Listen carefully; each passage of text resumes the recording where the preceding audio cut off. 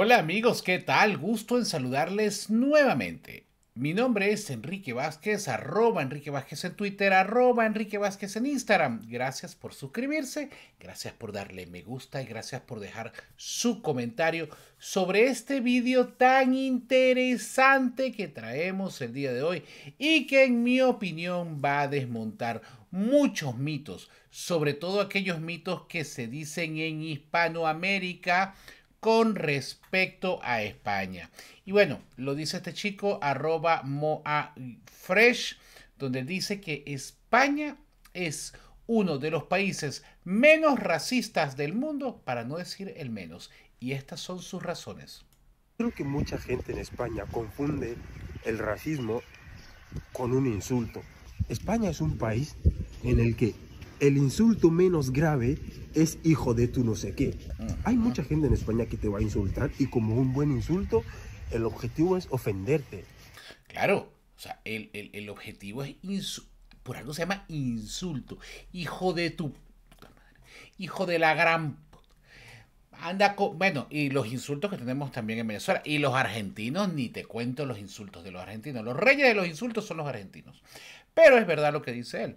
El insulto es una forma eh, eh, para hacer que te duela, para herirte, buscando lo que sea tu posible, eh, ¿cómo decirlo? Punto más débil o lo que creen que es lo que puede hacer que te va a doler más. Por ejemplo, a él pueden usar como insulto su color de piel. Y para mí pueden usar como insulto mi volumen corporal. Y me lo, han, dicho, me han dicho una vez gordo de mierda, cosas así, o sea, cosas relacionadas con el sobrepeso, como vía para insultarme, porque creen que eso va a dolerme y va a ser ofensivo y va a dañarme emocionalmente, porque esa es la idea del insulto. Pero racismo no es. Entonces, ¿qué es? Gordofobia. Cuando me dicen algún, algún insulto este, apelando a mi sobrepeso que, ay, han sido gordófobos, por favor. El racismo es que la sociedad y el Estado te impida mejorar, que te impida crecer, que te impida hacer cosas solo por tu raza. Eso es el racismo, pero Exacto. un corto de mente te diga negro de mierda o te diga no sé qué, eso no es, eso no es racismo, eso es un insulto. Y Y un insulto nunca será positivo. Y buscarán siempre lo que duele, te van a decir siempre lo que creen que te va a doler. Y ya está. Que hay mucha gente que usa insultos racistas, sí, pero en España, que haya gente que crea en la supremacía de, de raza, hay muy poca. Esto, la supremacía de la raza. Esto de yo soy blanco, yo soy mejor que tú, yo tengo acceso y tengo derecho a cosas que tú no, eso no existe en España. Eso no lo hay en España. Lo podrá ver en cierto país del otro lado del charco que está hacia arriba, que son varios Estados Unidos, unos 50 estados, tiene una bandera roja, blanca con unas estrellas. Puede ser que sí haya ese supremacismo por una raza. Pero en España, e, en España, por favor, si España, lean un poquito de historia. En España, España es fue uno de los países que menos traficó con esclavos durante, durante esa terrible y nefasta época de la historia. De, de los que menos, de los que menos, busquen cifras. Busquen cifras históricas verdaderas. En España eh, había todo tipo de personas que eran generales, que eran generales del ejército, blancos, negros, de, de eh, eh, indígenas, americanos, de Filipinas, de todo. O sea, España siempre ha sido un país súper abierto. Ahora, tal como dice él, que los españoles, los españoles peninsulares sobre todo, de castellanos más que nada, sean muy duros a la hora de hablar, a la hora de decir las cosas, a la hora de, insultar, porque todo el mundo cuando va a insultar procura dar en lo que considera que más va a herir. Pero eso no, es, eso no es supremacismo, eso es simplemente ganas de joder, de insultar, de decirte tú y gilipollas. Y ya. Pero más allá de eso, racismo. De verdad. O sea, que, no lo veo, yo no lo veo. Yo no lo veo. O sea, aquí hay, hay escuelas para negros, escuelas para latinos, escuelas para blancos. No, aquí hay una escuela para todo el mundo. La escuela pública es para todo el mundo. Yo cuando voy al hospital me atienden en sitios diferentes donde atienden a los chicos que vienen de Senegal o a los chicos que vienen de Perú. No, no hay, no, es el mismo médico, es el mismo hospital, es lo mismo. O sea, eso, eso, eso. Están cuatro iluminados, pero hay muy poca gente. Que sí, que te van a insultar, negro, vete a tu país o panchito. Todo eso son insultos, no es racismo, porque esa gente realmente saben que no, no creen realmente que tú seas un negro de mierda o un panchito de... No lo creen, solo es un insulto. Es un insulto por alguna, por alguna rabieta del momento, como una persona que llama a una persona, digamos, con, con, escasa, es poco, poco nivel cultural, poco nivel educativo, poco nivel social, le, está, le, le llega una factura de Vodafone yo no sé por qué siempre ponemos de ejemplo a Vodafone cuando nos llega una factura alta. Le llega una factura de Orange, de Movistar, de 500 euros y ese va, está súper cabreado, súper molesto, dispuesto a insultar al que le atienda y no le solucione, sea quien sea. Y le atiende una chica hispanoamericana, le atiende una chica colombiana, una chica venezolana, una chica o un chico. Y ese señor, con toda la rabia que lleva por dentro, él va a insultar, él va a drenar su rabia con la persona que la tiene, porque es lo que tiene rabia por una factura, no porque tú seas negro, blanco, chino, rojo, azul o amarillo.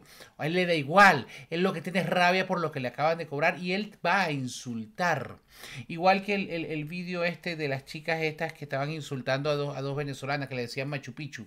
Esas mujeres probablemente, no lo sé, estaban pasadas de trago, pase, qué sé yo, que se habrían fumado, inyectado, estaban cabreadas y estaban insultando. Y si no hubiera sido una chica venezolana y hubiera sido una chica andaluza, la hubieran insultado con algo de Andalucía. O si hubiera sido vasca, la hubieran insultado con algo de Euskadi, qué sé yo. Entonces, el detalle es verdad, yo estoy de acuerdo con él, no es racismo, esas cosas en España no son racismo, son simplemente gente con ganas de insultar, ya. Y la mayoría de la gente que se queja del racismo en España, porque no han salido de España, no han viajado en muchos países. O todo lo contrario, los que se quejan del racismo en España es que no han estado en otro sitio, no han ido a países donde sí hay racismo y creen que aquí son racistas. Entonces, no hay comparación. Que hay países donde Solo con saludar a alguien ya te insulta por ser negro. Y hay países donde ya por ser negro te, te, dan un tiro sin preguntarte, o te meten preso sin preguntarte, o, lo que sea. O por ser blanco, porque eh, eh, en Panamá para nosotros sí había cierta discriminación por ser blanco aunque yo creo que era más por ser extranjero, era más xenofobia que, que racismo, era más xenofobia, era más una, una, discriminación por ser extranjero, por el acento. En el momento que hablábamos y nos escuchaban, el acento venezolano en Panamá cambiaban y las restricciones en Panamá sí hay xenofobia de verdad. Panamá es un país en el que si tú eres extranjero, escuchen esto, que a lo mejor ustedes no lo saben, en Panamá es, Panamá es un país en el que si tú eres extranjero, no puedes tener negocios de venta al por menor. O sea, una tienda de alimentación. No, si tú eres tienes que ser panameño. Y si es de nacimiento mejor, porque incluso la xenofobia y la, la segregación por origen en Panamá es tal que tu cédula, tu documento de identidad, si tú eres nacido en el extranjero, tu cédula comienza con una letra diferente que si eres nacido en Panamá. Si tú eres un extranjero que se nacionalizó panameño, que obtuvo la ciudadanía, se naturalizó panameño, la cédula de identidad, tu documento de identidad comienza por una letra diferente que si eres nacido en Panamá. O sea que la discriminación y la xenofobia en Panamá es tal que hasta en el documento de identidad segmentan y segregan a los panameños en función de su origen, en el documento de identidad, en la letra del documento de identidad. En Panamá, si tú eres extranjero, no puedes ejercer como médico, como psiquiatra, como periodista, como sociólogo, como psicólogo. Bueno, sociólogo no estoy seguro, como psicólogo, como odontólogo, como abogado. No puedes. Tú no puedes ser locutor de radio y cobrar por un, por un comercial en la radio si eres extranjero. No puedes ser taxista si eres extranjero. No puedes conducir Uber si eres extranjero. En fin, todas esas cosas, Panamá es un país de verdad xenofóbico desde la constitución, desde las leyes, desde las normas. Pero lo que dice este chico, España, ¿qué racismo puede haber en España? ¿Qué racismo puede haber en España si en España todo el mundo tiene acceso a las mismas cosas? Hay algunas por cuestión de nacionalidad, pero un chico senegalés que llegue aquí, cumpla con los requisitos, se haga español, puede acceder a los mismos cargos con español, nacido aquí de dos y de, de, de ocho abuelos españoles, ocho abuelos, cuatro, uno, dos, de cuatro abuelos.